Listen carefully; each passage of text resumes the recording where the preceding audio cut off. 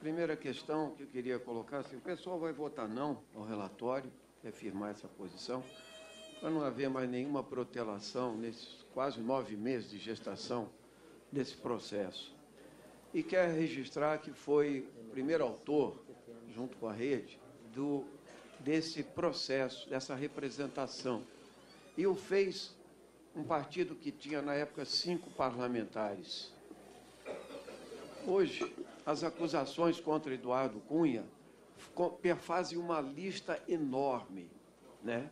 E ele acabou de dizer, embora ele tenha, não tenha falado no trust na primeira fala, mas falou agora na segunda, né? Que ele não mentiu.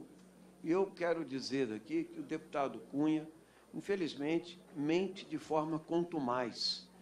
Vou dar até dois exemplos. Não não, Vossa Excelência não rebateu é, convenientemente todas as denúncias que foram feitas, como foi afastado duas vezes, é, derrotado no Supremo por 11 a 0, como Vossa Excelência mentiu quando disse que não se reuniu com o presidente Temer no Jaburu para tramar a continuidade desse processo. E também mentiu quando disse que não iria renunciar e renunciou. Então, Vossa Excelência mente de forma contumaz. E mais, utilizou o processo de impeachment para criar uma carapaça para se defender na sociedade e aqui dentro. Mentiu, foi funcional para os outros, mas não lhe adiantou.